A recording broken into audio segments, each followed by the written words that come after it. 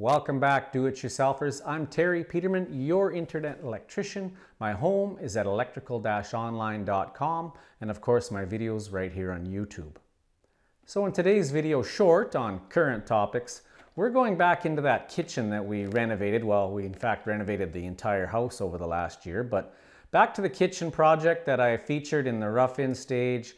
I also featured in some under cabinet lighting that I showed you how I installed these 12 12 inch linkable LED strips all throughout the kitchen. And on the rough-in, I put a single pole switch near the sink to turn all these cabinet lights on, or these under cabinet lights on. And now in hindsight, I should have put a three-way switch circuit on that because what I've found is we use these lights a lot. In fact, they're usually on all the time. And sometimes in the evening when I go to bed, I go to shut those off and they're the only lights on in the home.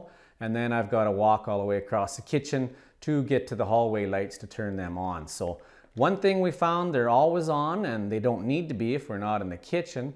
And the other thing is, is that three-way switch network that I should have probably done in the rough-in stage, but I, I didn't see it as a need at that time and now we do. So the solution, I'm gonna put an occupancy sensor. So these are occupancy sensors I found at Home Depot. They're a Decora occupancy sensor auto on from Leviton. Two pack was a good deal on them. They are just single pole occupancy sensors. So I'm going to install one of these on the under cabinet lighting. So that way they're on whenever we're in the kitchen, they're on, which is what we do now. However, if there's no motion in the kitchen, they're going to shut off. So I can just head off to bed at night, turn on the hall light to get down to the other end of the hall and shut that off knowing full well the kitchen under cabinet lightings will shut off on their own. So Without further ado, let's get started on the project. I'm going to show you this one step by step. All right, so here we are in the kitchen and this is where the under cabinet lighting is switched on. If you haven't looked at that video where I installed these under cabinet lights, showed you how I uh, mounted those LED strips. More than an installation process, it was more just to show you how we did the LED strips inside this coving. Anyhow, like I said, we're going to switch this single pole switch out to an occupancy sensor so that the under cabinet lighting is always on while we're in the kitchen or in the area and off when we're not. Of course, we begin by removing the faceplate and taking out the device.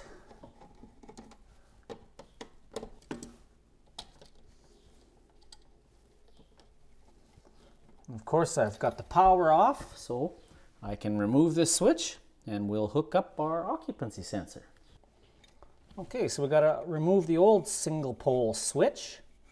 Well, not that old, just put this in less than a year ago.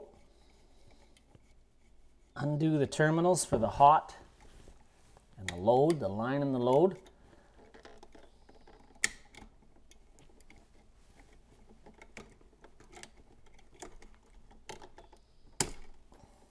And the ground. I read all the instructions on the occupancy sensor, so you don't have to. You can just follow my lead here. So now, you see these are kind of backwired terminals. You could go around the terminal clockwise like these were hooked up to the other screw terminals. And I might just do that because I prefer that rather than going in the back wire holes. So we're going to go around the terminal as that one was.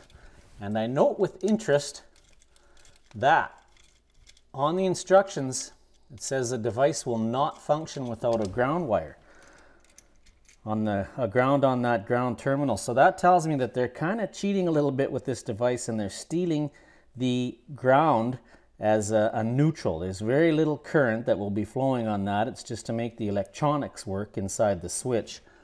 But that is the reason that we have to have a neutral in every box now because of devices such as these that uh, kind of steal the ground wire and use it as a neutral for the electronics to function. So it is approved and everything and there are cases when you're allowed to do that but uh, this is not it's not the best for sure. That should have a separate neutral terminal, terminal and a separate ground.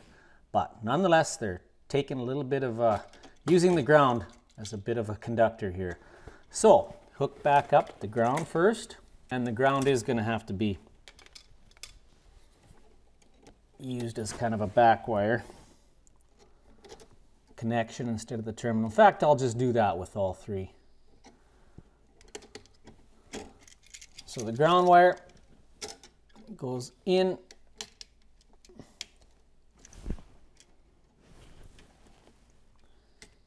push it all the way down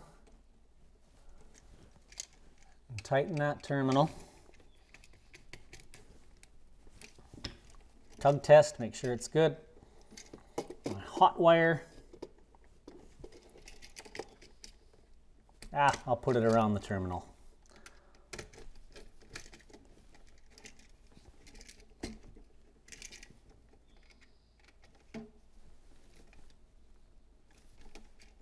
Make sure it's going around 180 degrees and that it's tight. Conductor's fully around the screw terminal. Not overlapped, just around 180 degrees, but not overlapped, as I said. Turn it over. Fix our loop here a little.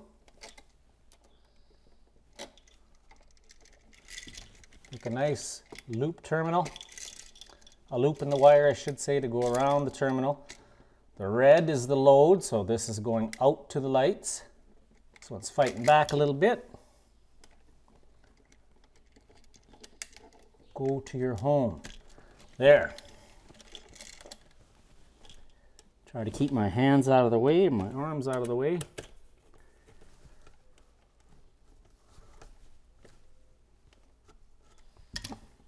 That in tight under the screw. Okay, that one's tight. So there's the load out to the lights, the line, and the ground all hooked up. Now we'll mount it in the box. Making sure that that bare ground doesn't touch any other terminals inside this box as we push it back in. Start one of the box screws. Okay, and now the directions, instructions say leaving the faceplate off. We want to remove the plate here so that we can get at the at the adjustments, so the settings. So you pull down on that plate.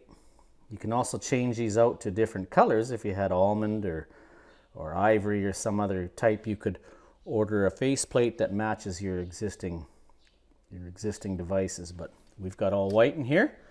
And there we reveal the settings. All right, so looking at my instructions here, the time selector is the one on the left. Increments of 0, 1, 2, 3, 0 being 30 seconds, 1 being 5 minutes, 2, 15 minutes, and 3, 30 minutes. So that's the amount of time that the lights will stay on after it senses motion or occupancy of the room. Then the light level adjustment, that can be set so that they do not come on during the day.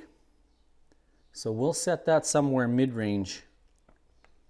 Then the settings on that are anywhere from 0 to 3 as well. So we're going to try that at about a 1 because we like these lights on quite a bit. Okay, I'm going to go restore the power and we'll test it out. Okay, with the power back on, the lights came on. So I'm going to play with these adjustments a little bit, and that might have to be played with. So they say leave the you have to leave the faceplate off until you find your right settings. So one is for the amount of light that they'll come on in. So I'm going to go with a 1 on that, and I'm going to go with a number 2 on the time, which is 15 minutes they'll stay on while there's motion in the room or once it senses motion. So We'll try those settings. For now, we'll leave the faceplate off so that we can play with those adjustments. But of course, you would just, to put it back on, quite simply, reattach your plate. You can manually turn them off, manually turn them on, and then you would just put your faceplate on once you get your adjustments all correct. So it looks like the higher the number on the brightness level, the, uh, the more light that they will turn on with, and the lower the number, the darker it'll be before they turn on in the kitchen. So I've set it for about a 2 right now, and I've only got it for 30 seconds just for testing here, but I know where the settings need to be, so I'm gonna put that faceplate back on. But now, as I enter the room, you see the lights came on, and all seems to be working well. So, that's another project done. Thanks very much for watching. Please hit that subscribe button, click the notification bell, that way you'll know when I release a new video. And also please comment, leave some comments below. I'll answer them when I can and I usually get at them once a day and uh, ask me a question. You can suggest a video content that you'd like to see me do. Anything you want, please put them in the comments and we'll talk. So thanks again for watching. I am your internet electrician, Terry Peterman. Until next time.